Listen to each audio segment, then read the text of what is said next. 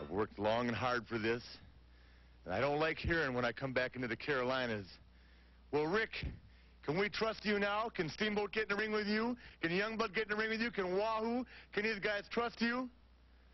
Because I'm down in Atlanta or Dallas or New Orleans, wherever I am, they're saying that Ric Flair's talking jive again.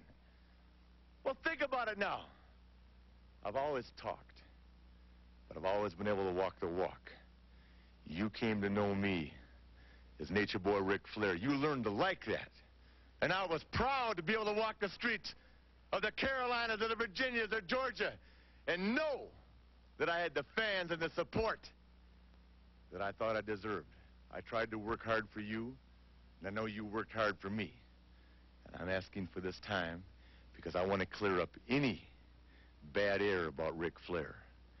I've got 10 pounds of gold on my shoulder that I feel I worked hard for and I feel I deserve to wear. But don't think for one minute that all you people there that stood behind me, that watched me bleed and sweat and pay the price to get where I am, don't think for one minute that I've forgotten you. If I tell you I'm going to be somewhere, and if I tell you I'm going to be on someone's side, then you can put that in the bank.